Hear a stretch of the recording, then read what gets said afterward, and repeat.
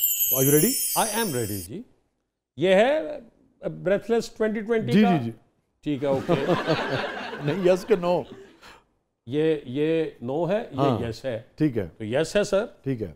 ज़िंदगी में वैसे कोई भी आपसे कुछ कहे तो ज़्यादातर आपकी ज़ुबान पे यस रहता है कि नो रहता है? डिपेंड करता है कि क्या क्या कह रहा है कोई। तो इसलिए इसको तो ऐसे ही रखना पड़ेगा। और क्या चाह रहा है? क्या चाह रहा है? ये हमारे बड़े बड़े जो नामवर लोग हैं इस वक्त नसीम विकी साहब मुझे मेरा हाफजा अगर ठीक काम कर रहा है हमारे शो में आए और बहुत सारे लोग आए वो बड़ी फराख दिली से आपका ज़िक्र करते हैं कि इब्तदाई दिनों में आपने बहुत सपोर्ट किया उन्हें।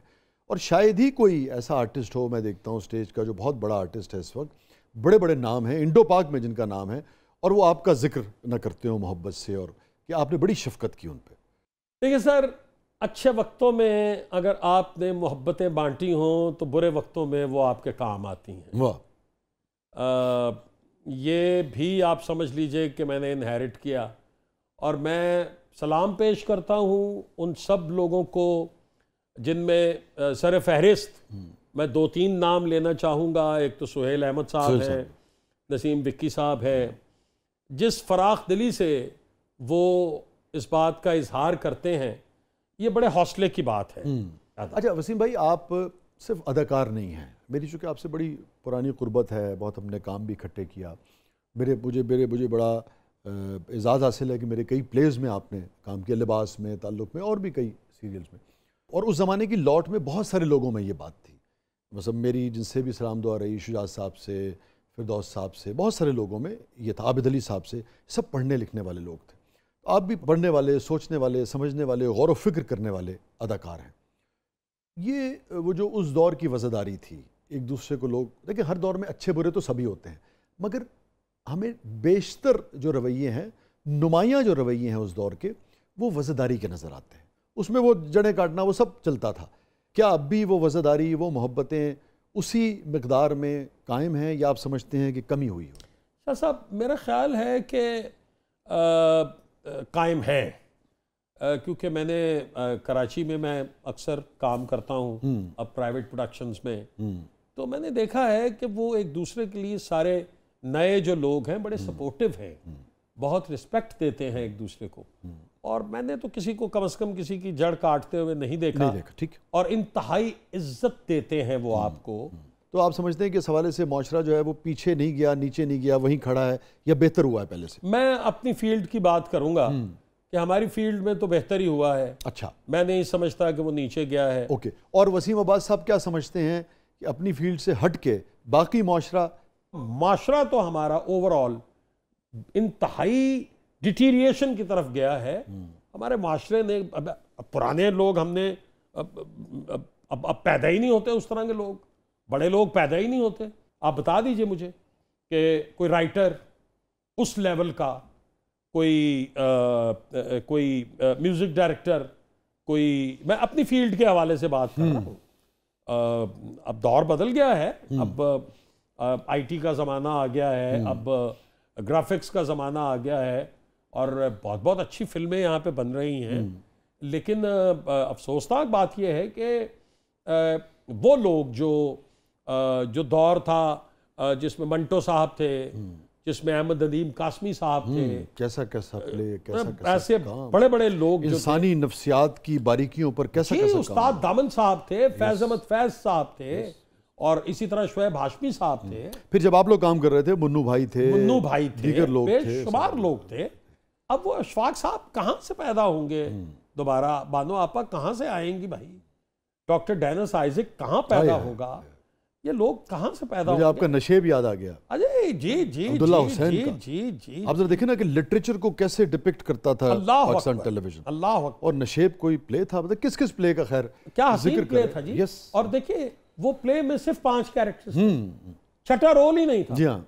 यार जो आपने एक मिडिल क्लास मैजिस्ट्रेट और वो जो सर्विस में आया है और अपनी माजी को साथ लेके चल रहा है। यार वसीम भाई क्या कैरेक्टर कैरी किया बड़ी मोहब्बत बड़ी मेहरबानी क्या बात आपकी, बड़ी मेहरबानी आपकी। यानी कि इस कदर थिन लाइन थी कि अब उसके पास पावर भी आई है और एंकर भी है आया है मगर वो माजी उसके अंदर मौजूद है। मौजूद। माजी की महरूमियाँ साथ लेके चल रहा जी हाँ। बिल्कुल है क्या सब्जेक्ट था?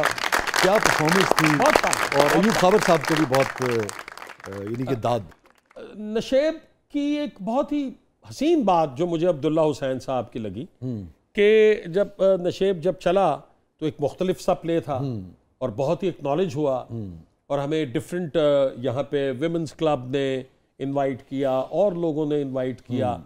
सवाल जवाब होते थे किरदारों के हवाले से और इत्तफाक से उसमें जो मेरा और सबा का ट्रैक था वो ज़रा थोड़ा ज़्यादा पॉपुलर हो गया था क्योंकि उसमें ज़रा थोड़े थोड़े ट्विस्ट एंड टर्न्स ज़्यादा थे ठीक कौसर नाम था उस कैरेक्टर का तो वो एक उसकी उसकी उसकी उसकी साइकी समझ पे नहीं आती थी कि उसको खुश करने के लिए वो सब कुछ कर रहा है।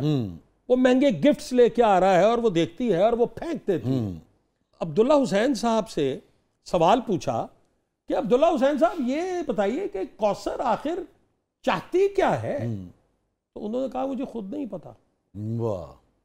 मुझे तो खुद नहीं पता कि ये क्या चाहती है। मुझे इतना पता है कि जो ये चाहती है वो इसे मिल नहीं रहा। अरे वाह वाह वाह। आपका ज़िंदगी का एक तजुर्बा है। आप अगर मैं आपसे पूछूँ आप क्या समझते हैं? मर्द ज़िंदगी में क्या चाहता है और औरत क्या चाहती है? मर्द अपनी ज़िंदगी में कामयाबी चाहता है। He wants to be a strong person मतलब वो बॉडी बिल्डर नहीं हाँ मतलब कामयाब आदमी कामयाब आदमी दुनियावी लिहाज और, से। और ए- एक अच्छा साथ चाहता है एक अच्छा दोस्त चाहता अच्छा, है। साथ और दोस्त एक ही या साथ और दोस्त अलग अलग नहीं नहीं अलग अलग हैं जी अलग अलग हैं। अच्छा इकट्ठे भी हो सकते हैं। अच्छा। वो साथ जिसमें दोस्ती का रिश्ता हो हाँ। जिसमें आप एक दूसरे से डिस्कस कर सकते हो। अगर वो साथ आपको मैसर आ जाए हाँ। तो आप बहुत कामयाब हो जाते हैं ज़िंदगी में। सुबह अल्लाह ये जो और अगर कहा जाता है ना जी कि हर कामयाब मर्द के पीछे एक औरत का हाथ है उसकी अगर बारीकी में आप चाहें ना तो वो वो क्या है? वो केयर है। वो अंडरस्टैंडिंग है। वो उसको मेंटली एक बिल्कुल, कर रिलैक्स करने वाली बात है। दोनों एक दूसरे अगर वो कहीं फंसा हुआ है तो उसको ये कहने वाली बात है कि डोंट वरी मैं तुम्हारे बुरा वक्त है इसकी गुजर जाएगा Yes. इस पे घबराओ मत वाह। ये निकल जाएगा और इस पे आप यकीन करते हैं कि बर्बाद मर्द के पीछे दो औरतों का हाथ होता है अब बर्बाद मर्द के पीछे कई औरतों का हाथ होता है